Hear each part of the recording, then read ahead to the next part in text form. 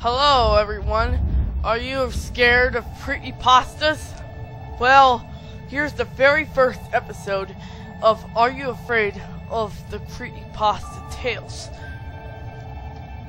Okay, the first episode is gonna be a Looney Tunes creepy pasta, as you know. It's called Angry Sylvester.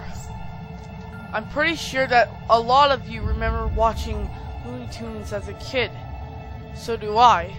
And my favorite character was Sylvester the cat.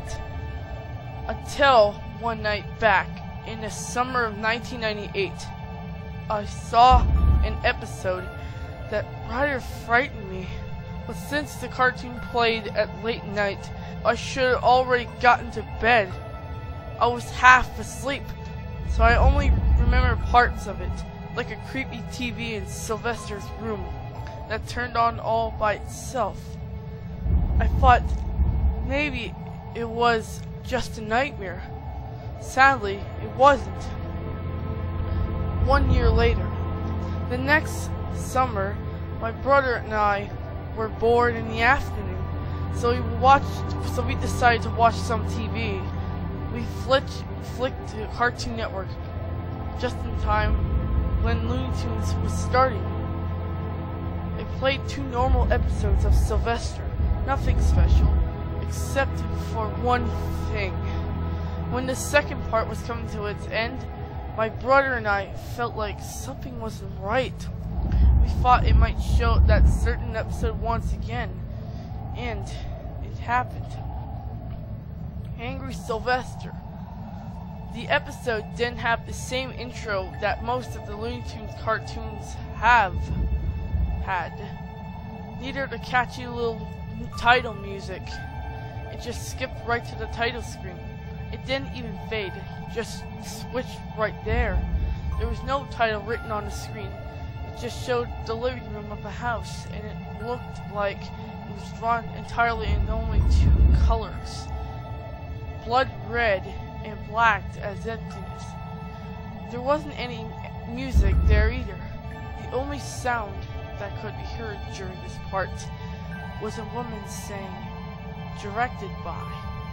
The creepy thing about it that was that it was in our country's native, lang native lang language, Hungarian. And this happened way before Cartoon Network started broadcasting in our country's native language. And it sounded like if the announcer was being strangled by something. Then the episode started. Once again, it didn't fade to the beginning. It just switched right there. It showed Sylvester standing in front of something that looked like a military base. There wasn't any music or sound to hear either, just dead silence. Sylvester also didn't look like he did in the other cartoons. He looked bruised and badly beaten, and his eyes had no pupils. He didn't say anything. He just looked really angry. In the next scene, he entered a military base. It was empty. No guards or soldiers were there. But Sylvester still entered. And he wanted to get revenge on the people for what they did to him. So he decided to sabotage the military base by destroying all the lights hanging from the ceiling. The scene also looked very disturbing. While Sylvester was tearing down the lights, his claws grew to a ridiculous size, and they were covered in blood and oil. The only sound that could be heard during the scene was the sound of sparkling electricity, which also sounded very loud and frighteningly realistic. The scene also was flashing rapidly, making it look even more scary, and also dangerous to people who suffered from epilepsy. The same scene also repeated itself ten times until it cut to the next scene. In the next scene, Sylvester was at home. However, Granny, Tweety, or Hector were nowhere to be found. He was all alone.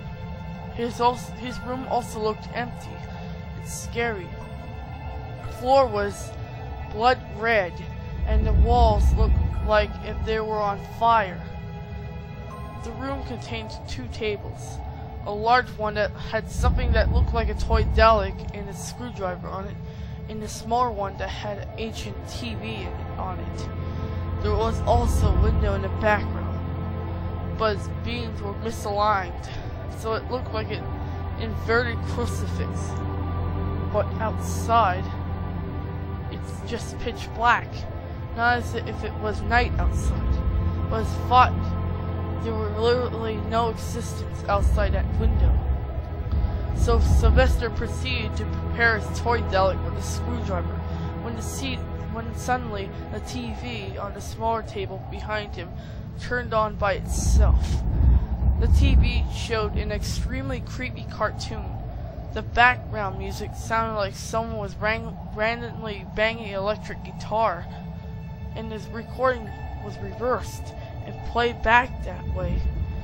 It started by it started by showing a forest with a cartoon moon, cartoony moon above it with an extremely creepy look on his face. A few seconds later, it switched to a long room. The room was empty, but something could be heard lurking at the end of the room, and it made a really creepy metallic thumping sound with every step it made. A few seconds later, it switched to the other end of the room. Porky Pig was standing there, also looking angry, and he was holding a pistol in his hand, and he didn't look bruised like Sylvester did. He said something to the monster at the other end of the room, then fired his gun a few times.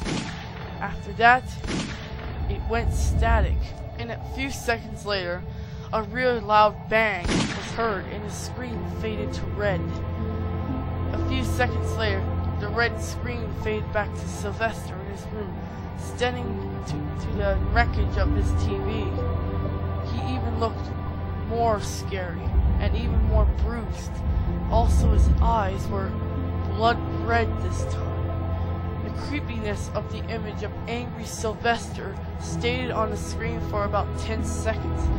Then it just went black.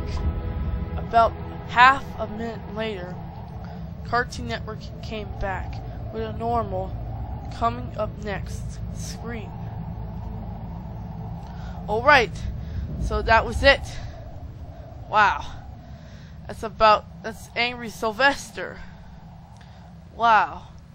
I thought this was weird and funny.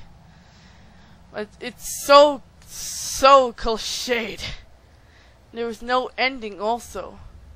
And it was under, it's so underrated, this creepy pasta about a Looney Tunes cartoon about Angry Sylvester. I enjoyed it. It was weird and it's, it's creepy also, but still funny.